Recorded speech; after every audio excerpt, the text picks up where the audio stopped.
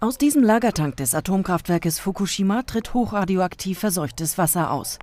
Das Resultat eine drastisch erhöhte Strahlenbelastung in der Umgebung, so hoch, dass sie innerhalb weniger Stunden zum Tod führen könnte.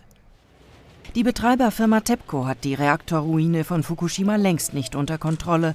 Jetzt schaltet sich die Regierung ein.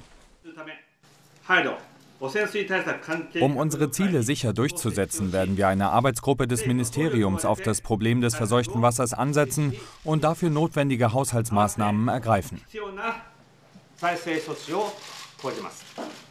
47 Milliarden Yen, das sind mehr als 360 Millionen Euro, will die japanische Regierung nun investieren, um die Probleme rund um den Katastrophenreaktor zu lösen.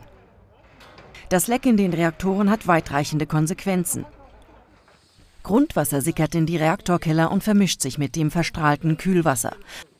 100.000 Liter hochradioaktives Wasser sollen bereits in den Pazifik geflossen sein. Japanische Fischer fordern längst, dass der Ausfluss in den Ozean gestoppt werden muss. Nun wird über einen unterirdischen Schutzwall aus gefrorener Erde rund um die Reaktoren nachgedacht. Angesichts der großen Wassermassen in den Tanks ist das Abpumpen ins Meer aber immer noch eine Option.